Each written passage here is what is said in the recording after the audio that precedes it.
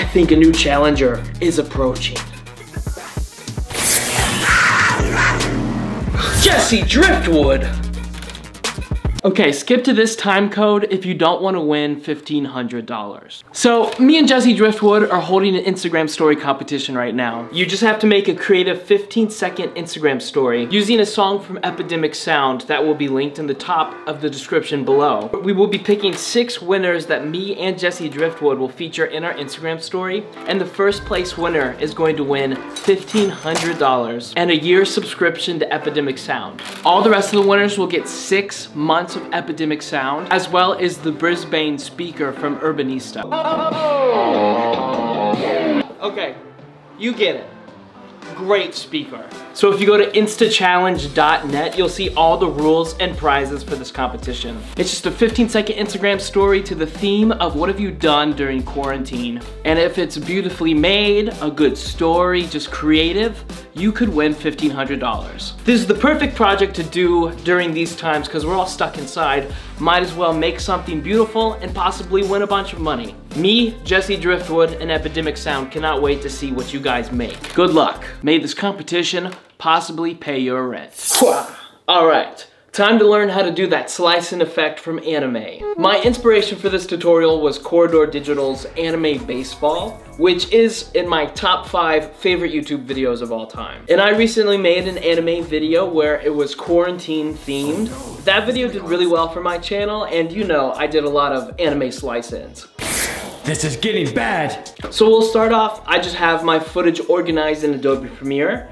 Here's the shot of me announcing that a challenger is approaching, and then also Jesse Driftwood doing some over-the-top anime motion. It's essential for these slice-ins that you have a big reaction. So what I'm gonna do is I'm just gonna open these two clips in Adobe After Effects. So I'm gonna right click, and hit replace with After Effects composition. Okay, now that we're in After Effects, you just wanna take your reaction shot and pick the best spot where he should slice in, which for me is right here. So what you're gonna do is grab that one shot that you're gonna slice in, put it on top of everything and drag it to where you want it.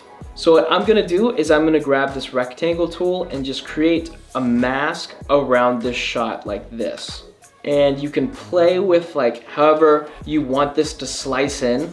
Like it could look cool where it's like slot slanted or something like that. Now that you have that masked layer on top of your original clip, we need to create the black borders that are on the edges of these slice throughs. And I found the easiest way to do that is come up to your effects panel and type in drop shadow and drag that onto your clip.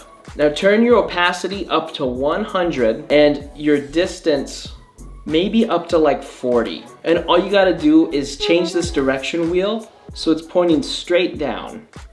And then duplicate that drop shadow layer and just spin that wheel to cover the top of it. So now we've used our drop shadow to create those black border bars because now wherever we mask this footage of Jesse, those black bars will always be there because they're a part of that original clip. All right, now that we have our masked clip and the black bars, we just need to animate the slice in animation.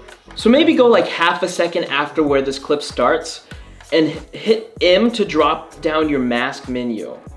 And you're gonna hit a mask path position keyframe and go back to the beginning of the clip and then just grab these two endpoints and then drag them across the screen like so.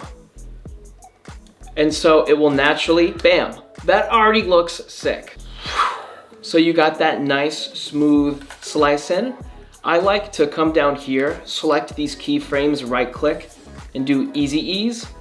And so the animation just looks a bit smoother. So in a perfect world, you're basically done. But since this is anime, you're never truly done. There's always so much more you can add. So basically the next part is making it as crazy as possible. And how I've done that in my videos and I imagine Corridor Digital is they download all of these external assets to complement the movement and shake of this kind of animation. My favorite, and this is not sponsored, is FootageCrate.com. You can see here they have all these fantastical VFX things that you can just drop in your videos. The best part about Footage Crate is all of these assets are free. There's paid versions of everything, but there's just enough usable free content for anime stuff. So I downloaded this orange thunder lightning asset that I think is really cool. Go to the beginning frame where that masked slicing starts to come through. Drag your asset to hit both of these borders. Hit P to drop down position and create a keyframe and just go over frame by frame and track these laser beam type effects onto the edges of the slice through. So it looks like the slice through is going so fast, it's creating fire. For, for effects like this that are like external assets, I always set them to screen. And if you come up to your effects panel and type in glow, I always drop a few glow effects on there. I'll turn the glow radius up a little bit just to add some extra like flare. And maybe if we add some motion blur, let's see if that looks good. And now just duplicate that top clip that you animated. Hit A to drop down your anchor point positions and just drag it down to the bottom of the slice in. That looks incredible. Now, the next step for me is I actually take the shot that's getting sliced in, so this footage of Jesse, I'll come up to the effects panel and type in curves, and I'll drop that curves effect onto that original clip, come to where the mask ends, hit the keyframe for curves, so that this is when everything will go back to normal. But when you start out the clip, drag that color like super bright. So it kind of has this color effect where it comes in really hot, but it like fades out in color. I think it adds this nice flare that complements these fire lines that go through the screen. Next is I like to add smoke and sparks to really sell the impact of all of this. And so once Jesse starts to slice in, just dra drag some kind of mystical thing inside and then just hit T to drop down your opacity and slowly fade out whatever mist you've brought in because it, it, it's too much if you just leave it on there for a while. Wow, that looks incredible. All right, and then the last step for me is I like to add like micro sparks. And they've got tons of Spark assets on Footage Crate. Uh, my favorite is the Repulsor Sparks side, which is a free uh, download on that website. Very granular. If you look, it's super small. But as always, I like to add the glow effect just to add, to give these assets some extra oomph. And so just find a good spot to where you can match up your sparks and where the top of the video is coming through. Duplicate that sparks layer and just bring it down to the bottom.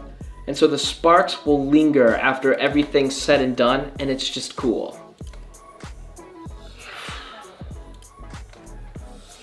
And bam. And honestly, I think that's it. It's actually an incredibly easy effect to do. It's completely customizable too, depending on what shapes you like or what kind of fiery or electric assets that you find pleasing. I hope you learned something new. And also, Alexa, turn my lights on. You have one week after today to make an Instagram story that's 15 seconds long using fantasy from Epidemic Sound link in the description below. If you wanna win $1,500 and get a shout out from me and Jesse Driftwood, this is a great opportunity for you to sign up to Epidemic Sound and possibly make some money. I'm super excited to be partnering with Epidemic and Jesse to do this, and so I really hope this gives you guys an opportunity to be creative while you're stuck at home. Like I could, I could pay my rent with that, so maybe I'll, I'll apply to my own competition. Where there's a will, there's a way. My name is Will, and have a nice day. Check instachallenge.net. I spent a lot of money to get that URL. and you might win $1,500.